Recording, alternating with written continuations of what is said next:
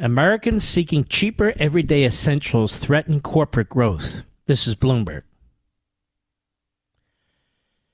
Now think about that. Don't they have it backwards? Americans seeking cheaper everyday essentials threaten corporate growth. Isn't the problem that Americans are seeking cheaper everyday essentials? So they say Americans are cutting back on personal hygiene products and a troubling sign for the U.S. economy and consumer focused companies. Now, it's an amazing thing. You've got Joe Biden talking about Bidenomics.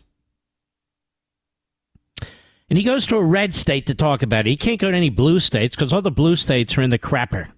Literally, crap all over the place. And so this story comes out and they say the uh, troubling sign for the U.S. economy. How about a troubling sign for Joe Biden and his ideology and his approach to economics and his reelection bid? It's not like the economy is doing this on its own. I've told you many times before if you kill the golden goose, you don't get golden eggs anymore. It's the way it works. Despite surging inflation, shoppers kept spending thanks to income gains and government stimulus. But those benefits are waning. You see, ladies and gentlemen, government spending is like a heroin addict. And the dealer is Joe Biden and the Fed. And it's been for years and years and years. The fact of the matter is, you don't bill a real economy with sustained growth by profligate spending. It doesn't happen. What you do is you destroy an economy that is trying to grow, and that's exactly what they did after the pandemic. So they write despite surging inflation, shoppers kept spending thanks to income gains and government stimulus. So for the Democrats, this means more government stimulus. That is more inflation. And they're going to drive us right into depression. Now, those benefits are waning. Now, now Americans are skimping, even on everyday items such as toilet paper and toothpaste. I never in my life thought that those words would come out of my mouth. Never imagined it. That Americans have to skimp on toilet paper and toothpaste? Both ends of the body? These are essentials. These are essentials. Why aren't the Republicans hitting this hard enough, Mr. Producer? Many times I go into Walmart, I'll go into Costco, CVS, Walgreens, and so forth. I'm checking out the prices. I want to know what's going on, get stuff for the family, and so forth and so on and I see what's going on. And there's also shortages. Are there any politicians who do this? When's the last time Joe Biden shuffled into a Walmart? Now they'll laugh like this clown Capehart and the others about Karen. It's just another way to trash middle America, like Obama did. It's just another way to trash middle America. Extremist MAGA, another way to trash middle America. White supremacists, middle America. They come up with different phrases, one more outrageous and vile than the next. But people in this country are now cutting back on toothpaste and toilet paper, excuse me, and other hygiene products. Next thing you know, the whole country will smell like a, uh, Democrat Party convention. More insights on the economic environment come on Wednesday with the release of June's Consumer Price Index. They can release all the indexes they want, all the unemployment statistics they want, all the rest of it. I know what I see, and I see a lot of people in pain. I see a lot of people. You know, I'll tell you what. You've got like Let's just take paper towels. You have had Bounty. Bounty is paper towels. Four equals 12. I don't even know what they're talking about. 12 equals 30. Or now you have toilet paper. It's like, uh, you want the really, really thick, big rolls? I told you I've been at Walmart and all these.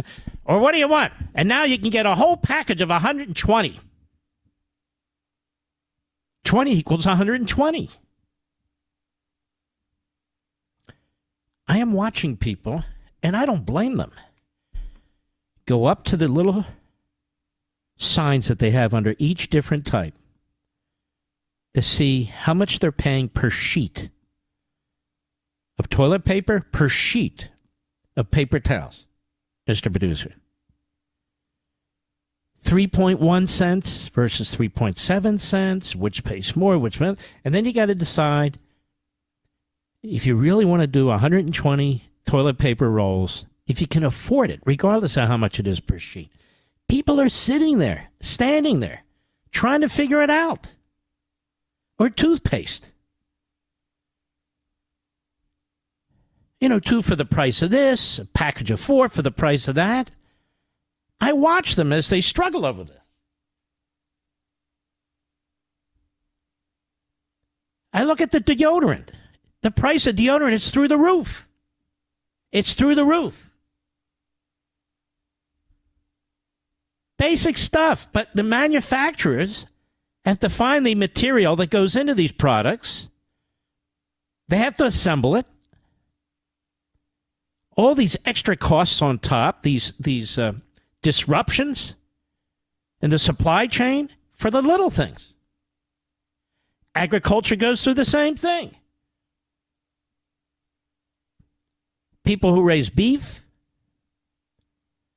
fowl, fisheries are all going through the same thing. This is a crappy economy. It doesn't mean that you can't acquire things. It just means that they're much more expensive. Then you drive by a McDonald's right here, right near me, and they have a sign up that says minimum wage up to $13 an hour. That's a pretty damn good minimum wage. The problem is you can't stay ahead at $13 an hour. Well, how much are you going to charge for a hamburger and fries or chicken nuggets or a soda to get it higher? Speaking of which, have you been to a drive through lately, Mr. Producer? You're going to feed four people. Four people, not kids, four, four adults. Let's put it that way. Get a couple hamburgers, side of fries, and a soda. It's 10 bucks.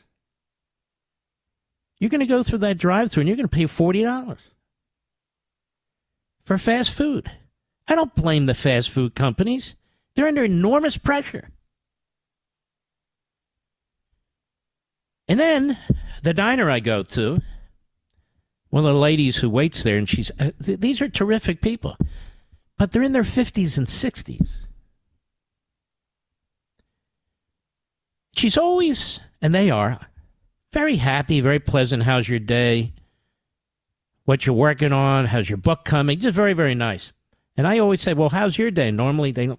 She said to me today, price of a gallon of gasoline on my corner just went up 20 cents a gallon. Now, this affects her. She's a waitress.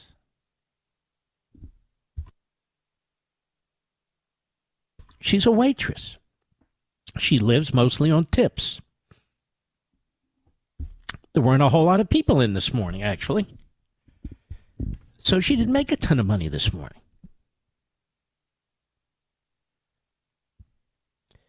This is what people who get guaranteed income, guaranteed salary, guaranteed health care, guaranteed pension, striking for a little bit more, or in the federal government, if you close the federal government for a couple of weeks, they act like you're you're choking off their subsistence.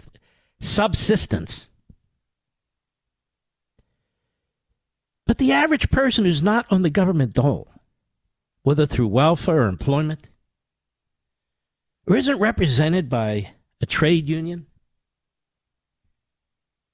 which is the vast majority of the people, they're suffering. Middle and low middle class people are suffering. And the people in Washington and the media don't care. The people in Washington and the bureaucracy don't care. Joe Biden doesn't care. He's touting his economy. The Democrat Party doesn't care. They'll just create a couple more programs and they'll blame Republicans for blocking them. They don't care. The strains that the consumer is under have been exacerbated over the last couple of months, said Morningstar analyst Erin Lash. The reduction of food assistance program, listen to this, lower tax returns and using up extra savings and stimulus funds have an impact, she said. So, in other words, for Bloomberg and for Morningstar, the problem is we're not spending enough money.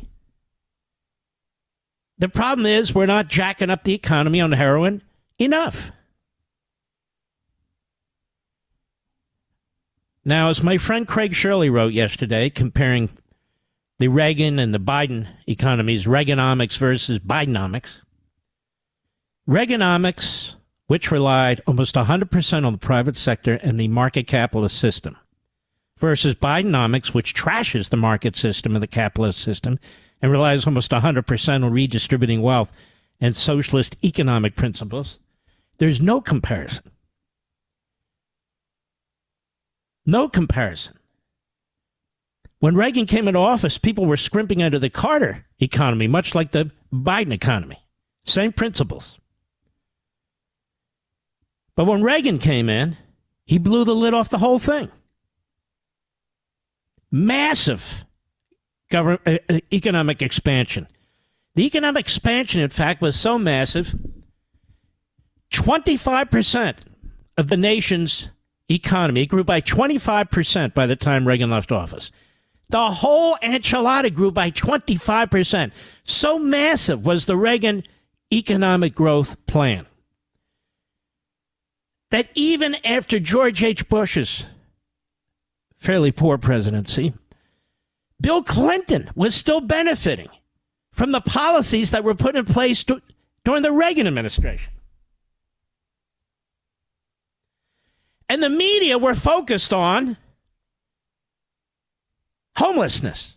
This guy, Mitch Snyder, in Washington, D.C., they would every night on network TV. They go to a homeless shelter, they go to a food line. They wanted you to believe that Reagan had created all this poverty, destroyed all this wealth, didn't care about little kids, didn't care about older people, didn't care. People were in breadlines like the Depression. It was a lie. Meanwhile, I just read to you what Bloomberg, which is a liberal news site, said, and there's no cameras at Walmart. There's no cameras at Costco. There's no cameras at CVS and Walgreens. There's no cameras at the gas stations. There's no interviews of average American families having to struggle.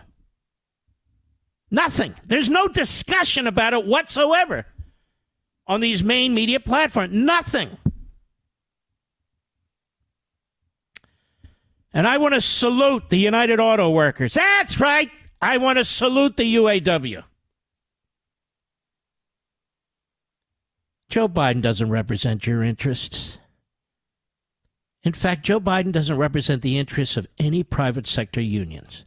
Public sector unions, minus the cops and the firefighters, sure, that's the teachers. He has no respect. And for the AFL CIO, the mothership, to go out there and endorse Biden is sickening to me. He's destroying the auto manufacturing industry. He's destroying the steel industry. He's destroying the coal industry. He's destroying all of our hard industries where men and women get dirt under their fingernails, of which they know not a damn thing in Washington, D.C.